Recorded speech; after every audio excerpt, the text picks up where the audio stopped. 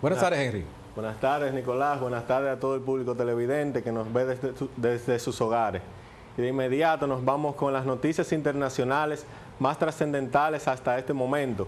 Y comenzamos con Alemania, donde la revista Forbes acaba de nombrar por novena vez a la canciller de Alemania, Angela Merkel, como la mujer más poderosa del mundo. Angela Merkel es la jefa de Estado y de Gobierno con más años en el cargo dentro de la Unión Europea. La revista Ford la volvió a elegir como la más poderosa del mundo, ya que Merkel combatió la recesión y tuvo un rol clave en el rescate de la economía de Grecia. También porque Alemania posee una de las economías más sólidas ante la crisis europea. También Angela Merkel hizo uso de su poder para luchar contra la organización terrorista del Estado Islámico y rompió con el tabú de la post participar en, los conflictos militares al enviar armas a los kurdos. Intervino diplomáticamente también en la crisis de Ucrania al intentar que Vladimir Putin se inclinara hacia la paz. Por todo esto es que la revista Forbes ha nombrado por novena ocasión a la, a la canciller de Alemania como la mujer más poderosa del mundo. Pero la misma revista dice que la canciller de Alemania debe cuidarse los tobillos, ya que le sigue por un mínimo margen la, candidata a presidenta de los Estados Unidos, Hillary Clinton. Hillary Clinton, según la revista Forbes, podría reemplazar el año próximo a Angela Merkel y estás a solo un paso de hacerlo si gana las elecciones de los Estados Unidos. En el tercer lugar, eh, dentro de las mujeres más poderosas del mundo, se encuentra Melinda Gates, quien es esposa de Bill Gates y es codirectora de una fundación filantrópica en todo el mundo.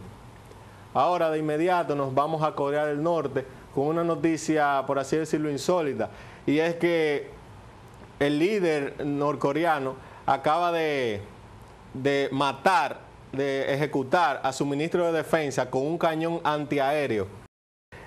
Ya van 15 los altos oficiales ejecutados por el, por el régimen norcoreano. El jefe del ejército de unos 60 años fue acusado de traición por haber incumplido instrucciones del líder norcoreano y por dormirse durante un desfile militar, según informa la misma fuente. Hay que recordar que el líder norcoreano ordenó la ejecución de su tío, quien era el número dos del régimen, para evitar así la sucesión o cualquier hecho de traición. Este no es el primer hecho de, que sucede en Norcorea, donde el régimen y la dictadura avanza a pasos gigantescos. Ahora nos vamos con, con, la noticia que está sonando en el mundo y la más controversial, y es que la FIFA está acusada de corrupción y es investigada por altos órganos de Estados Unidos. Fueron arrestados por la policía suiza altos funcionarios FIFA atendiendo a una petición del Departamento de Justicia de Estados Unidos que espera que sean extraditados y enfrenten cargos en su territorio. Dentro de los arrestados se encuentran destacadas personalidades de América Latina. Vamos a hacer un breve recorrido histórico.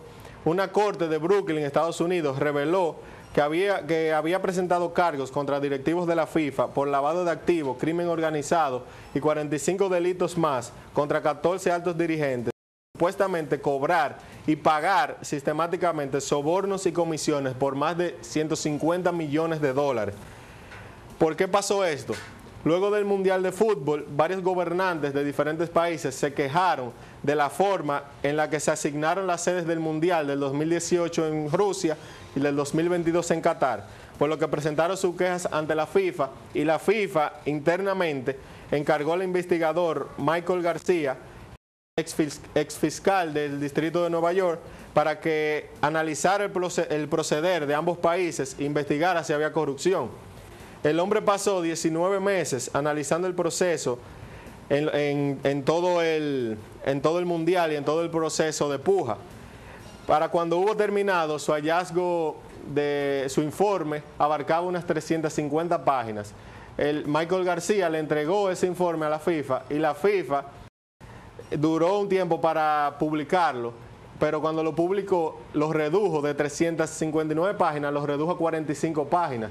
Entonces el ex fiscal y investigador se quejó de eso y dijo que eso no era lo que él había hecho, que él había hecho más de ahí y que algo había, había ocurrido. Entonces siguieron las investigaciones, se llevó a la Corte de Justicia de Estados Unidos y en colaboración con la, con la justicia de Suiza se siguen estas, este proceso.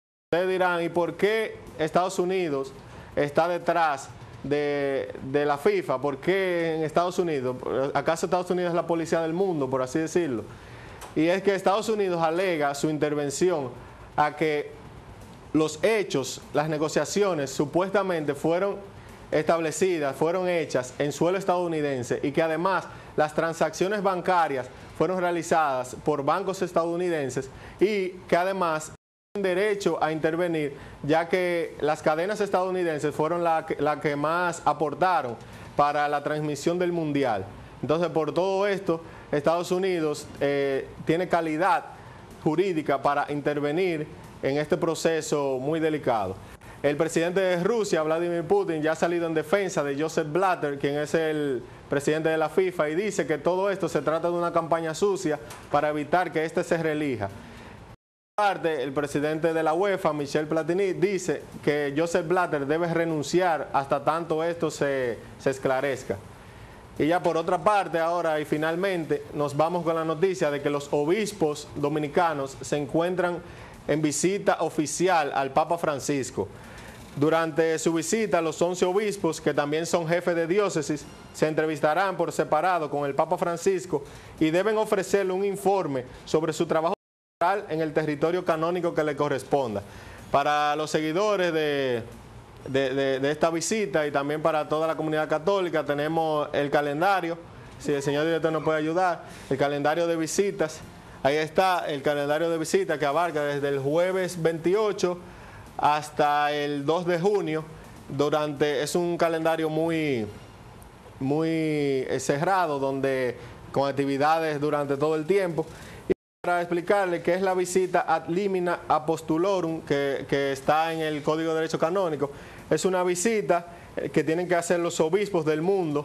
Ya los de México lo han hecho, los de Japón, ahora van los de, República Dominicana. Deben hacerlo a Roma para dar, para rendir cuentas de su Dios. También deben hacerlo cada cinco, de cada 5 a 10 años.